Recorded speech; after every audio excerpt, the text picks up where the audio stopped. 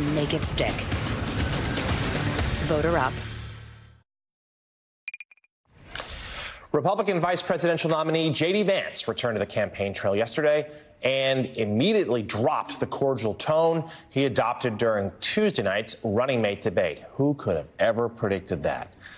At a rally near Detroit, Vance mocked Democratic VP nominee Tim Walz for misspeaking on the debate stage the previous night.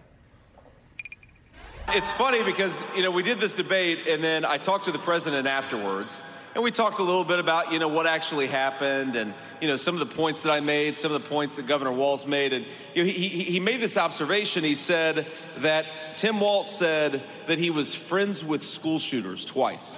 And I said that was probably only the third or fourth dumbest comment Tim Walz made that night.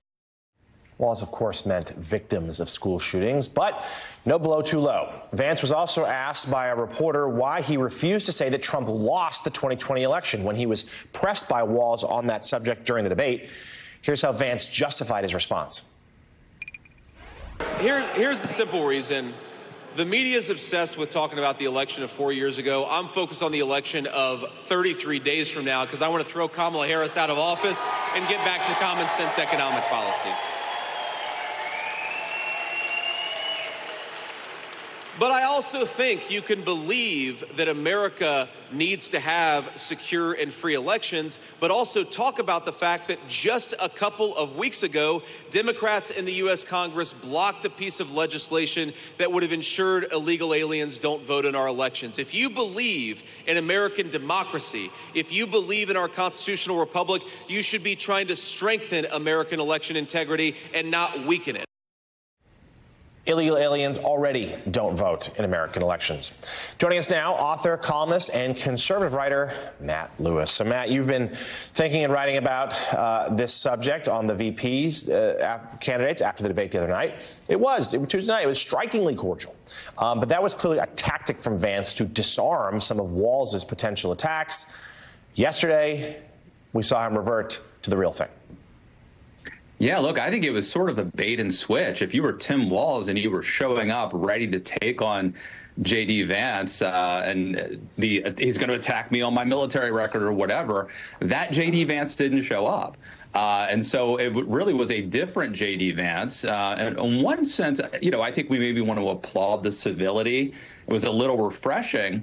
But I also think there's some phony phoniness there, you know, where these guys maybe talk tough about the other guy when he's not around, um, but in person act nice. Uh, so you know, maybe a little a little phoniness and, and, authenticity there, and I think that may be part of of uh, Vance's mo anyway. Yeah, there was certainly a sense among uh, the pundit class that Vance, look, he was smooth. He was, he was, in terms of performance, in terms of style points, he was very good. The idea that he won the first 88 minutes of the debate, but lost the last two. And that was the moment he was just asked about there, where he refused to say if Trump lost in 2020. The Harris team already turned that into an ad. Do you think that's what's going to resonate in the days and weeks ahead? Well, look, at first I thought it was so uh, funny, right? Vance refuses to answer whether Donald Trump won in 2020, saying he doesn't want to relitigate the past. Then his next, very next thing he said was, "And what about Kamala Harris in 2020?" or something to that effect. So obviously, his boss Donald Trump has no problem being obsessed with relitigating the past.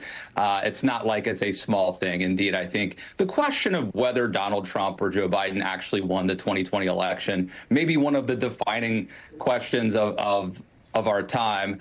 Uh, as to whether he gets away with it politically, I think if we were just, if people just watched the debate, he would, right? Because it came very late in the night. A lot of people had turned the channel.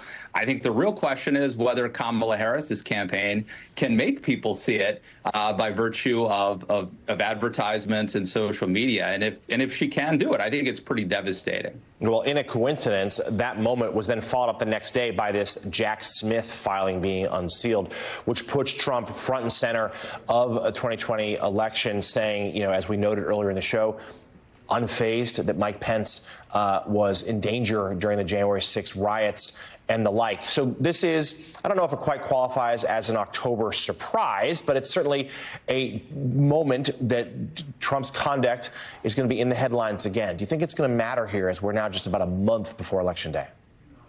I mean, look, on one hand, I'm tempted to say it's baked into the cake. Uh, people who think it's bad what happened on January 6th uh, are going to continue to think it's bad, and, and Donald Trump supporters are going to continue to rationalize it. I have to tell you, just anecdotally, I actually spoke to a friend in West Virginia yesterday.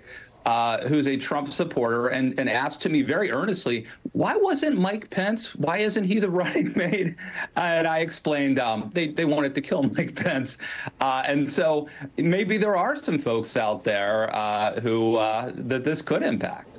Yeah, that's certainly the fundamental question uh, about this campaign. Author, columnist, and conservative writer Matt Lewis. Matt, thank you as always. Up next here, we're going to play for you Trump's latest comments about Haitian migrants in Springfield, Ohio, and what he plans.